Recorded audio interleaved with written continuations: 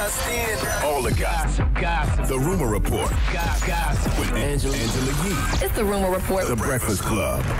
Well, congratulations to Nicki Minaj and Kenneth Petty. They are officially husband and wife. That's beautiful. So last night she announced the news on Instagram. There was a video that showed Mr. and Mrs. Muggs in black and white baseball hats that said bride and groom on them. And she posted Onika, Tanya, Maraj, Petty, October 21st, 2019. And then she put up the little emoji that has the bride and the groom. So you guys know they had gotten their marriage license.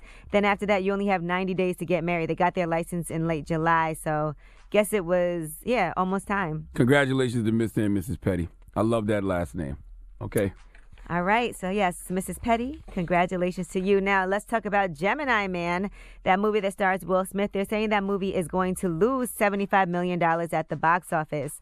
They said the movie had a production budget of $140 million and about $100 million, $100 million in marketing.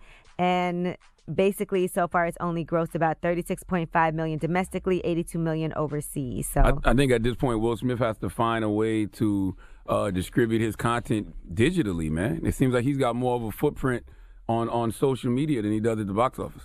All right, now Tyler Perry, since we're talking about movies, right? Let's discuss Tyler Perry. Here's an exclusive from the Jasmine brand. They said that he spent about $16 million for his grand opening of his studio. Now, a large portion of that was for travel accommodations for people he had to fly in. And then the studio opening allegedly featured more than 100 chandeliers, $700,000 worth of carpet and lighting, also a fireworks show that cost more than $1 million. And then performers like Jennifer Hudson and Mary J. Blige also were on stage. He also had a, a, a hotel block. Like it was certain hotels that he just had blocks and blocks of rooms blocked off for, for his guests.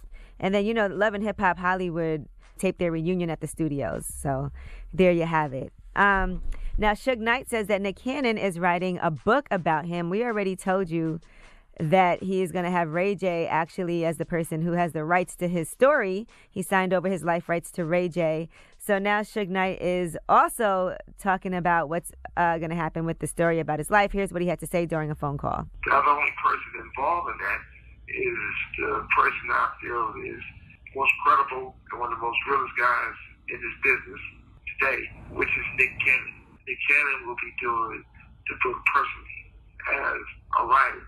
I know he has all the potential and experience to be a great writer, and he is a great writer. He will be doing my book and involved with a lot of other things moving forward. I think that uh, they will make money off a Suge Knight movie, and I also think they'll make money off uh, Death Row merchandise. But I'm gonna tell you the story that needs to be told. They need to tell a story of the actual goons that was holding down Death Row, like the, the security and the, the people that was actually putting in work that made Death Row so infamous. Because Well, it wasn't the artist. Well, Suge also said he'll be home earlier than you think. And in addition to Ray J having the rights to his life, his fiance, Toi-Lin Kelly, has his power of attorney. So uh, Ray J has that creative control. Toi-Lin Kelly has power of attorney. All right, I'm Angela Yee, and that is your rumor report.